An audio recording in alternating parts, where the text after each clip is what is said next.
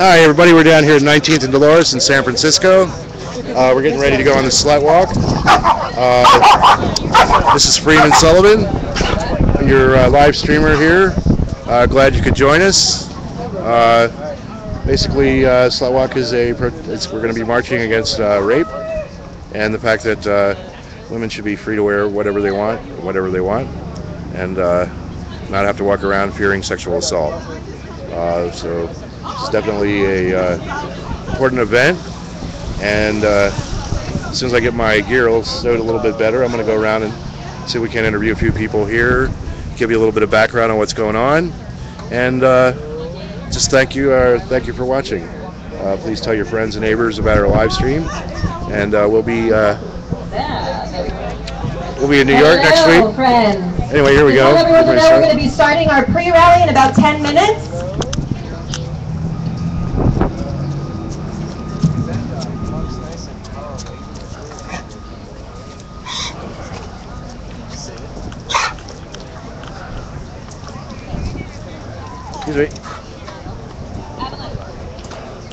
So I spot somebody here that I know that will be able to say a few words.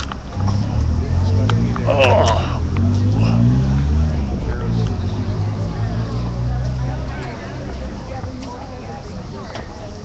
A nice crowd here today. I guess there's about 100 people here. Uh, we're here in San Francisco at Dolores Park, 19th and 19th Street if you're in the area. Uh, please come by and support the various activities that are going on here. You shouldn't be up and walking yet. Oh. Hey, do me a favor. Could you grab my chair and like stick it over in like, the middle there so when the, we get ready to speak, I'll have a place to sit down? Let's go check out some of the literature here. So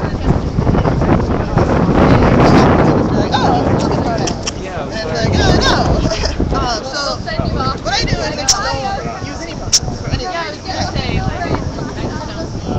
A lot of information here. Yeah, yeah, just use any overall anyone all the respectful. Yeah, she just came up. She's like, she's like, what do you? There's lots of folks. Everyone, quick announcement. We will be getting No, put it over here. Please feel free to look around. We have some amazing groups here, such as Project Survive, War Magazine. Hey, Tommy. Hey, not too bad. Not too bad. Glad to see you. I came up here because I saw your your posting. Uh, you have anything you want to say to the people watching the live stream out there? Come on out. Come on out and support this. But, uh, what, are, we uh, out here for? We're out here to say to the world that somebody shouldn't be raped or murdered because of what they wear, who they are, how they dress, how they present themselves um, to, to the world. They, they, people have no right to attack people, to murder people on that basis, and we know it happens. We know that homosexual the panic defense, the transgender panic defense, you know, uh, judges saying that women deserve to be raped because they're dressed like sluts. I mean, all that stuff is crap and needs to go. And we're here to say it, it's going. It's, Enough's it's enough. Out of here. Yeah. Good, good. Thanks a lot. Sure. Thanks a lot. Podcasting, huh? Oh yeah, yeah. I'm out there. I'm actually getting ready to go to uh, New York City for the Upper Occupy Wall Street, Oh, cool. and uh, we actually have a television studio to work out of. So I'm really excited about that. Yeah. And I'll be- here for September 17th. Yeah, we're going to do a lot of actions here Yeah. in San Francisco. So, but it's going to be an exciting event. I'm ready to go. I'm finally, I'm finally got my mobility back after, after being shattering my leg a couple of years ago. So, so. All right. Oh, there's my chair. Hey, what's up? How you doing? Pretty good. How Yeah, I got some new, got some new glasses there. Finally. Yeah. Hey, could you grab my chair and like stick it right in, like so I can get up? Are we going to be marching too? Or? Uh, yeah, but I can get up. We're not ready to leave just yet. Got a real nice crowd here. So glad you could join us. Make sure you follow me. Uh, there's a little button on the Ustream channel that I that I'm uh, streaming from. Yeah, this is fine right here. Thank you. Ustream channel that I'm operating out of. And just hit the follow button, and you can receive an email updates uh, about when I'm going live and when my live stream is about ready to start. And uh, you keep up with it that way. If you'd like me to cover your event, uh, you can contact me, uh, Freeman Sullivan at gmail.com or tweet me at Freeman Sullivan or you can give me a call after the live stream is over. Area code 415 499 2780. 415 499 2780. And I'll be happy to come out and cover your event free of charge.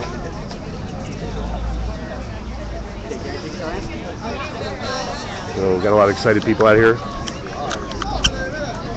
Beautiful day here in San Francisco, as usual.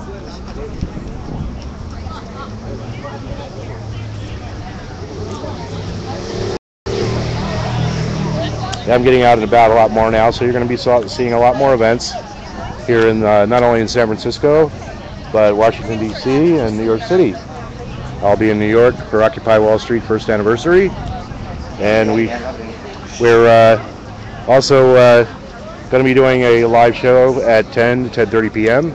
on uh, Occupy News Network, uh, which is and also we're going to be uh, on the public access in Manhattan on the days of uh, on September 17th at 10 to 10:30 p.m. So we're really excited about that, and we'll uh, reveal more details about the show. So far, we've confirmed Aaron Kay, noted Yippie Pie Man. He's going to be one of the guests on the show, uh, which will be a roundup of the day's events. Where we we will be showing you clips and and live streams in addition to chat. And hopefully, we'll have it set up so you'll be able to call in or chat with us directly as we're doing the show because we do like audience participation. So if you'd like to participate in the chat on my Ustream page, uh, you need to be logged on to either Twitter, Facebook, or logged on to Ustream and click the tab that says Social Stream on it. And I would appreciate it if you let me know how my audio and visual is coming out. Uh, and if it's a choppy or the audio is choppy or whatever, uh, please do let me know. Or if you have any questions or anything you'd like to know about the event, uh, please tweet me, and I'd be more than happy to uh, answer your questions.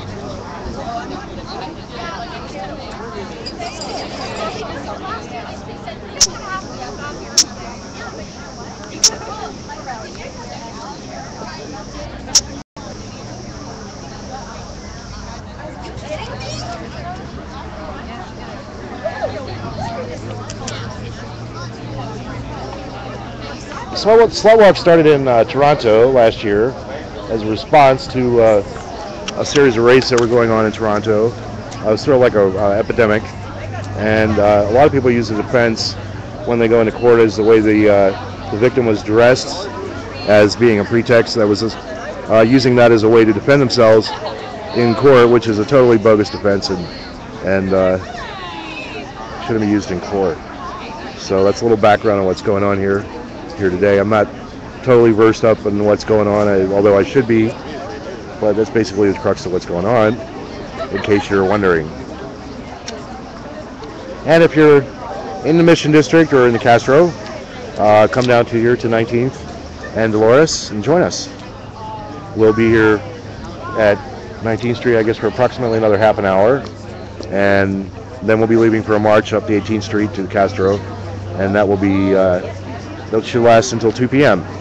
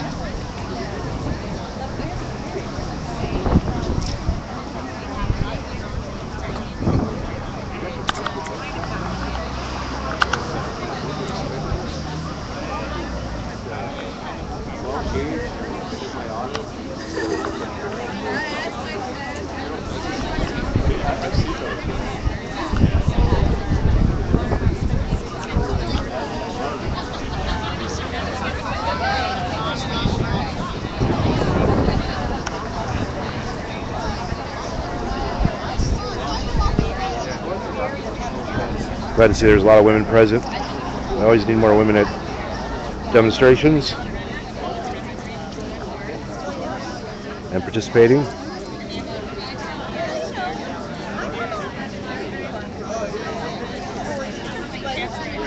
We should have some speakers coming on here in just a couple of minutes, so be patient.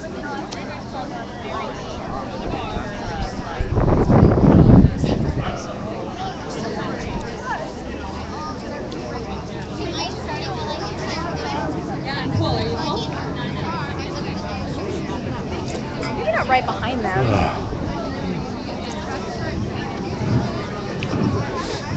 All right. Hello, sluts. Hello, allies of sluts. Hello, folks that don't really identify as slut but are here because they're tired of the word being used against them.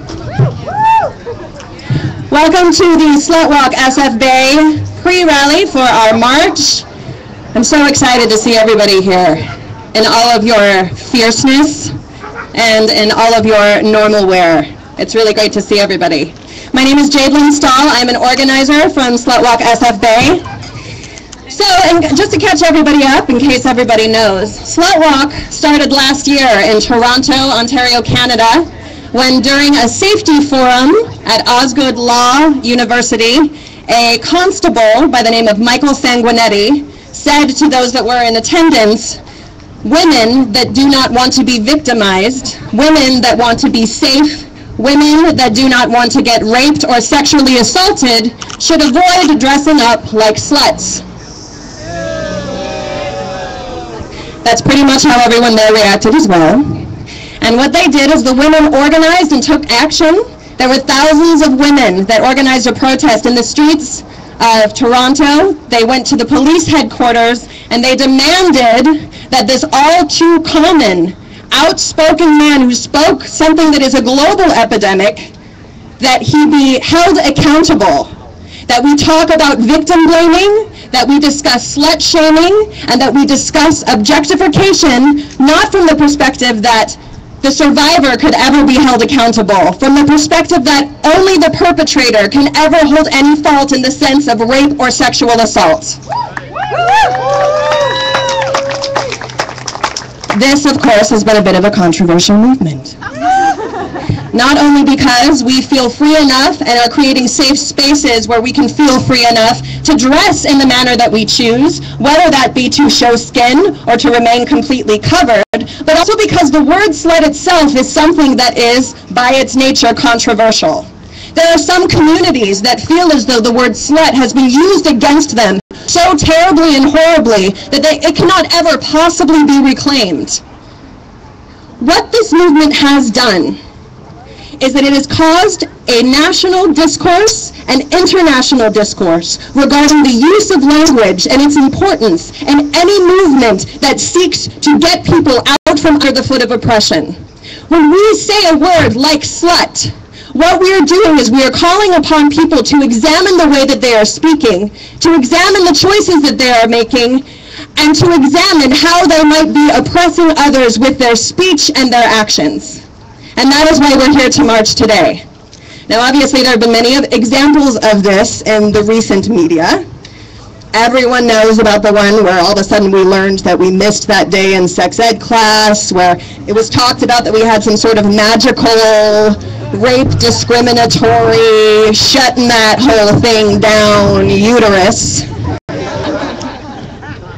But that is not by far the only instance in which this has happened. Just yesterday, an article was posted where a judge in Arizona, a female judge in Arizona, upon trying a case of a woman that brought her perpetrator into court, a police perpetrator, who had come into a bar and groped her genitals without provocation, without consent, this judge, upon throwing out any chance for him to serve any jail time, said to the woman, well, if you wouldn't have been in that bar, this wouldn't have happened to you. Sorry about the fingers.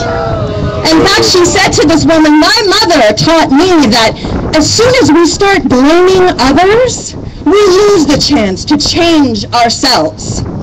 We are here at Slutwalk to say the blame should only and ever be placed on the person responsible for enacting the violations that cause sexual assault, rape, sexual violence, and objectification. The blame exists with no one else. Today we have some really amazing speakers here to talk to you about all of the many facets that are involved in this fight, in this fight to end rape culture. And we're very excited about all of them. And the first one is spectacular. To start off today, we have someone that is coming to you from, I would say, a sex-positive lens that can only be called revolutionary. This woman is the director for the culture, uh, for the Center for Sex and Culture in San Francisco. Absolutely.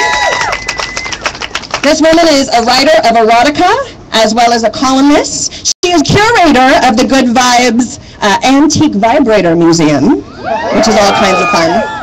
And she has a PhD in sexology, and she is an advocate for any person that seeks to express their sexuality to its full extent of fierceness and spectacularity.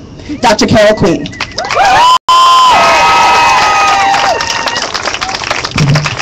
Oh my goodness, thank you so much for that introduction, and I'm really happy and honored to be here at Slutwalk.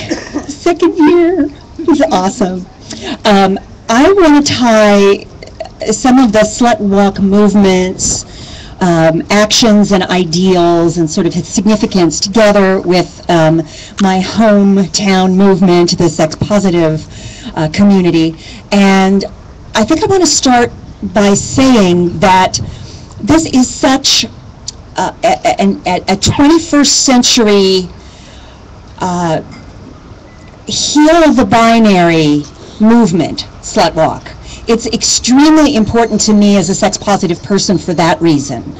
I came up in feminism of the 70s and 80s when mainstream feminists frequently were not willing to advocate for even the rights, much less the integrity and choice making of problematically sexual male-identified women, whatever that meant to whoever was casting the term around.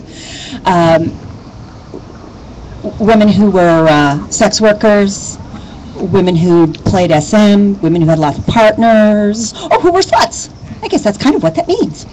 And so as I came up within feminism, I had the distinctly uncomfortable experience of a strong vocal part of feminism, because it was never everyone, of course, who felt this way. Not wanting to take my sexual issues seriously and not wanting to give me space to explore sexuality the way I wanted to do it.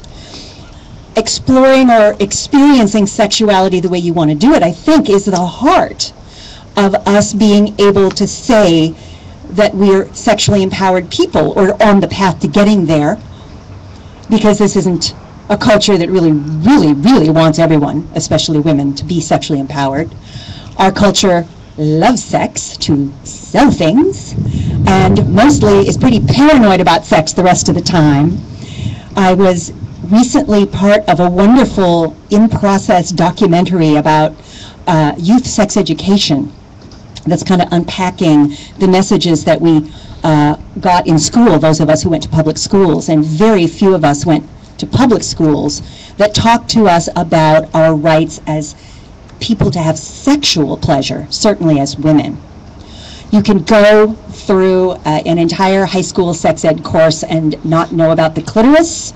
Uh, you can probably go through some college sex ed courses and not be very sure where that thing is or how to deploy it. Hint, it is not a doorbell. Except for those percentage of you who actually like that, you know, once you get warmed up. Not saying there's anything wrong with that.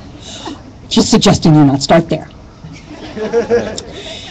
But you know, to me, it's just as important to be able to say, to have sexual integrity and our own individual sexualities understood by ourselves, conveyed to others, respected by others. To be able to say that we don't want to have sex.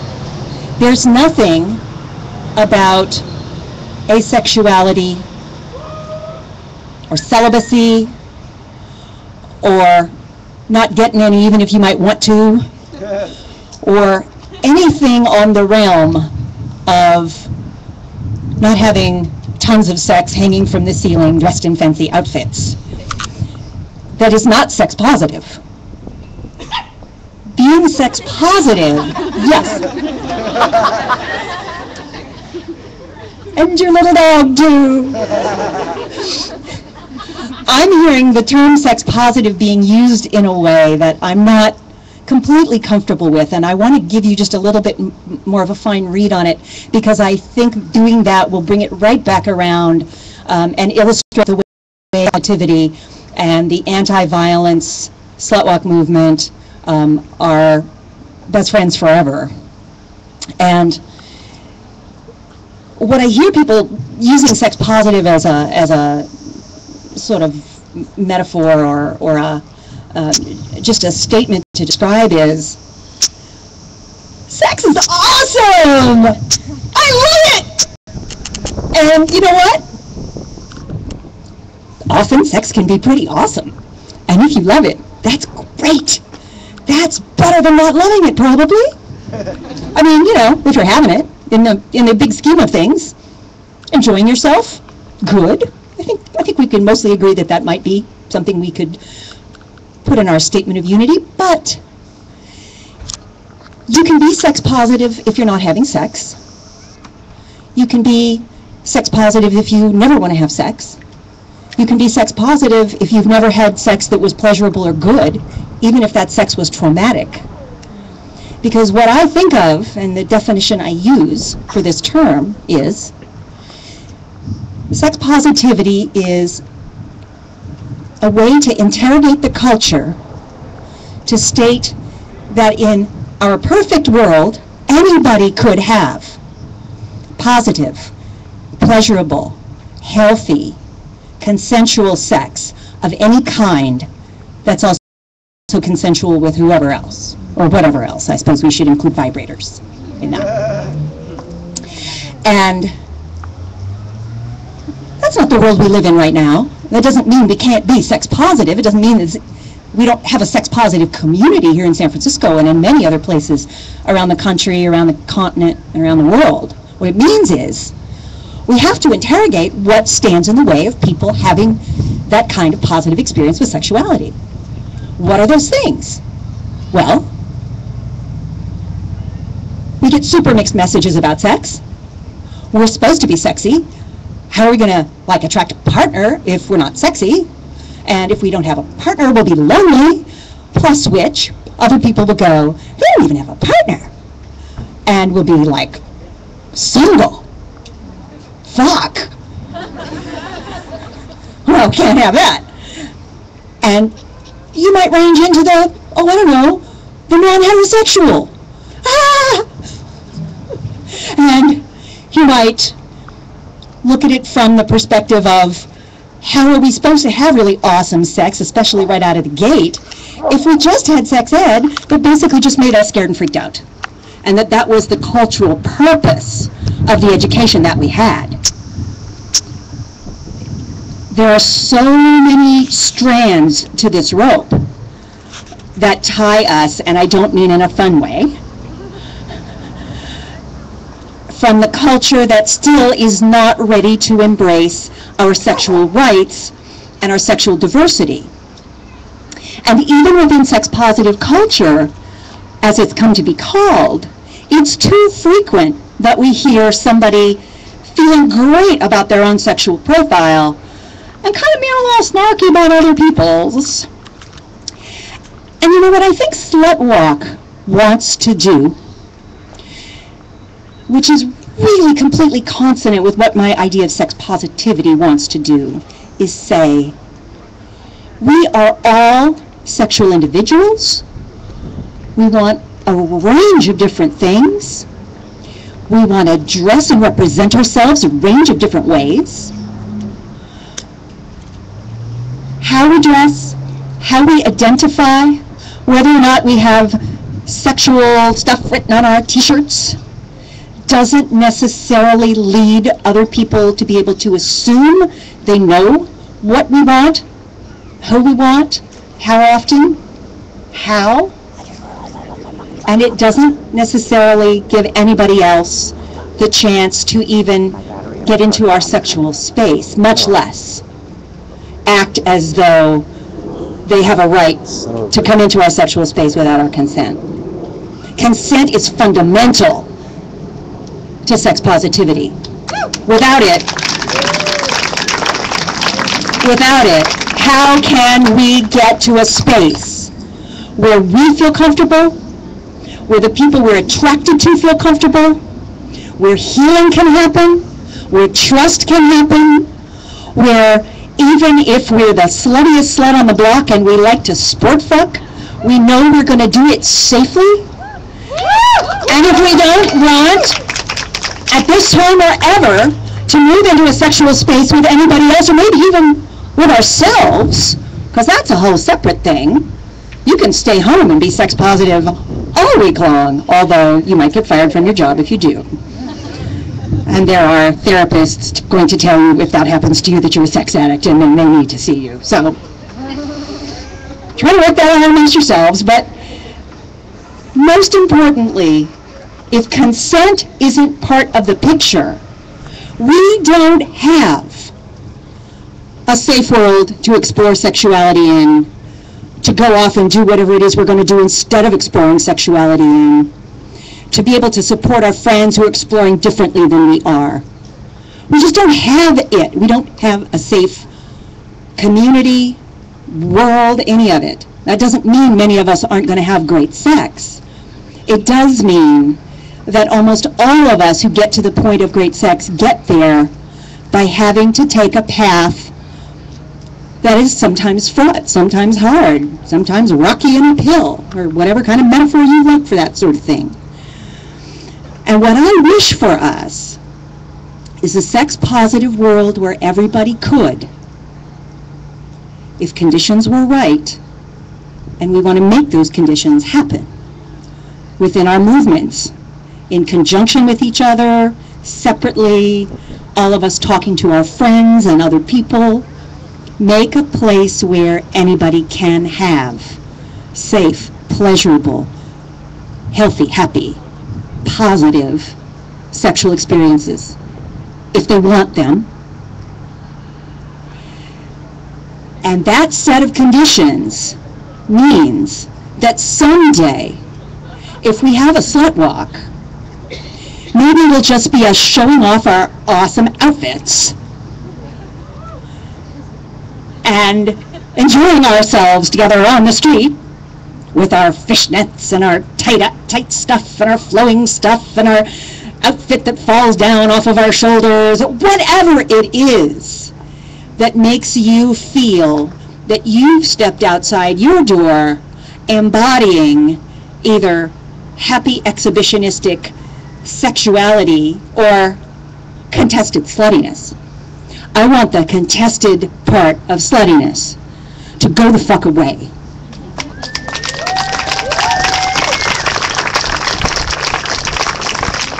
And I want sluts to be nice to non-sluts.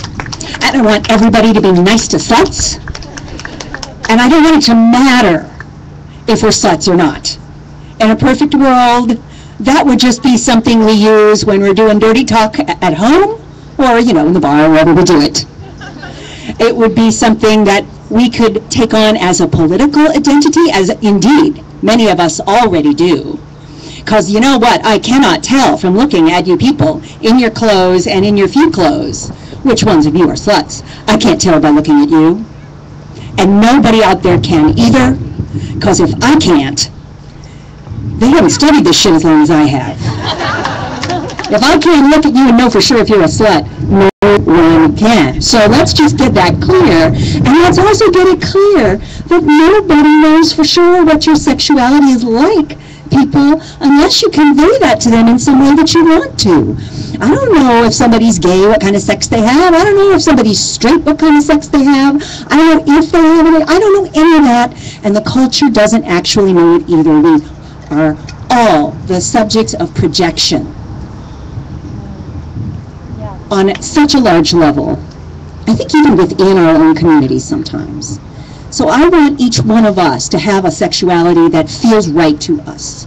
There are 7 billion plus people in this world. There are 7 billion plus sexual orientations. slut is only one of them, and it matches up nicely with most of the others, if you want it to. And the fact is that we, especially as women and gender queer and, and trans and queer people, all run the risk of being labeled as slut from the outside because we're not heteronormative. And heteronormative, way too sexy for their shoes, gals, run that risk too. And you know, it's all also about the assumptions of orientation, the assumptions of gender and sexual socialization, the assumptions that we carry around. I want to ask the Slut Walk movement to work with the sex positive movement to say we can't assume, we want to convey our limits, we want everyone to understand consent, we want to participate in teaching because we know that part of the underlying problem here is that everybody got such bad sex education, except like the Unitarians, bless your hearts, and the occasional private school student. Privilege, enough said.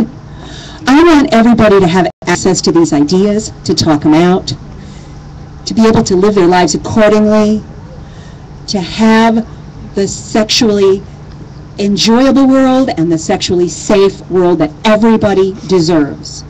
That is sex positive. It's the heart of the slut walk philosophy as I understand it.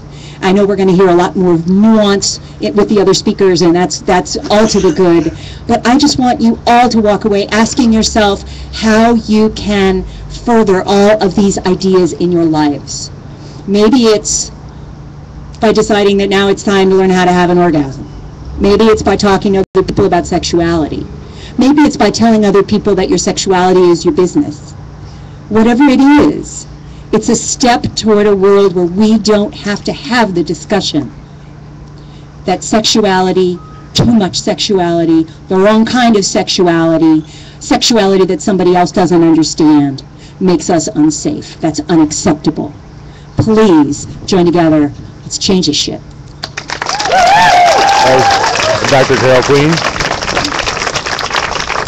Dr. Queen Queen! Badass extraordinaire, no doubt. So now I'm going to introduce you to uh, a woman that is instrumental in everything having to do with the reason why we're here today. Evelyn Ramirez is the woman that actually founded Slutwalk SF Bay. When she founded Slutwalk SF Bay, she founded it upon the fact that she felt familiarity in what this movement stands for. And she feels familiarity with all of you, just not that kind of familiarity yet, perhaps. Ready? All right. Thank you.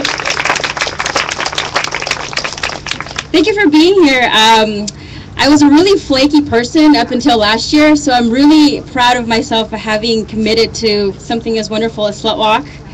Um, I wanted to thank the organizers for being so hardworking. This is an entirely volunteer position. Uh, there is no pay, and sometimes it's really hard to balance that out with school and work and family and what other other things that occupy our lives. So uh, thank you for doing that, Mira. She always does this for free, and um, it helps us make our movement more accessible.